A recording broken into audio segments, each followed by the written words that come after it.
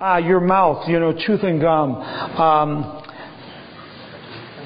this is designed to clean the gums, to strengthen the gums, to clean the teeth. Uh, I, this is what I used in the clinic for years, and then I added it to. Uh, I love the name of this daily oral therapy. Anisha thought it was a little too kinky, uh, but daily oral therapy.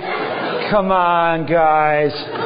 Um, uh, if, if any of you haven't tried it, you got to try this stuff. You gargle with it, you swish it in your teeth. Here's a, here's a test. Brush your teeth, floss, even use one of those new toothbrushes, floss, do it all. Then gargle and swish this in your mouth and spit out, and you won't believe what comes out. Uh, this loosens it all up. It strengthens the gums. It destroys uh, bacteria in your mouth.